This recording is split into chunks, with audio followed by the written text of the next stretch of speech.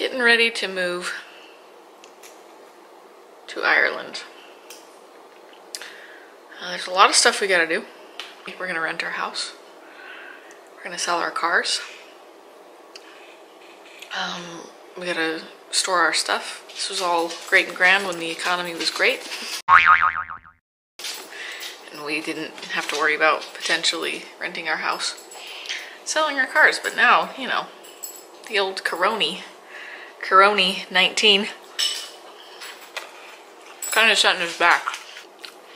But out of all that, I still think the hardest thing is gonna be that butt. That guy. Right here. Hey. Jaitz. He can't see anymore. So I'm gonna tell you all the things we have to do for our dog Jaitz. Alright, so the next little bit are the steps that it takes in order to get Jaitz to Ireland. First step is we had to get him re-microchipped. He already was microchipped, but you know, things have improved in the last 11 years, so, so we took him to the vet, and he came home.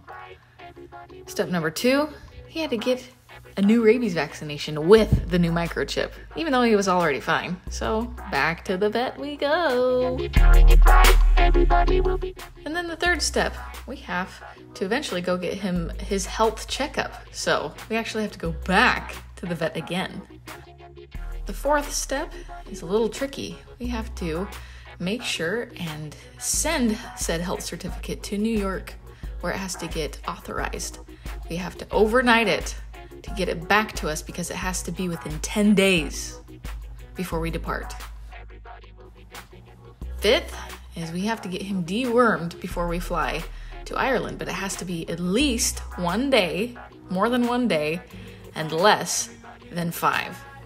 So, again, it's going to be a little tricky. So, back to the vet we go. Step six is we have to set up an arrival appointment in Ireland in order to make sure we've done everything correct.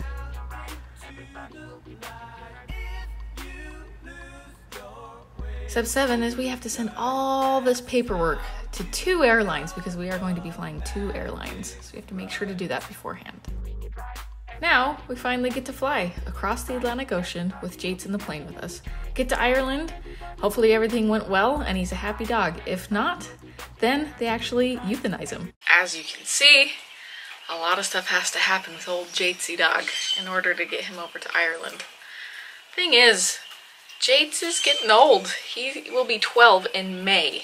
So he's almost 12 and he has not had um, the easiest life. Let's just say he's very resilient. Jaitz got cancer about three years ago and it was, I didn't know if he was going to make it. It was in his colon actually. But they chopped it out sewed him back up and here he is today. Um, he also, after that, he got locked on the, the old neck by a neighborhood pit bull. All, he, all Jaitz wanted to do was play, but Pit did what it did. It locked on him and barely missed his uh, his jugular, just got him on the fat, so he recovered from that.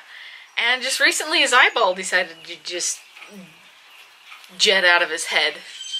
We don't know why, we don't know how, but um, he had to have it sewn back in. And here he is. But if any of you are dog people and have a dog, you know they're they're like your family. And I, there's no way I could leave him behind. Even though chances are he's he's probably going to kick it here pretty soon. I can't imagine not being there when he died and like or or there for him. And I just have this feeling if we were to leave him with somebody, he would just be so sad and he would just be like, that's it, I'm out. So I want him to be comfortable and to be around, you know, his family on his last few weeks, days, months, years, whatever he has left. If you want to get a really, really good, heartfelt story about a dog and like a dog at the end of their life, you watch this video. It's if I could do videos like this, that's all I would do.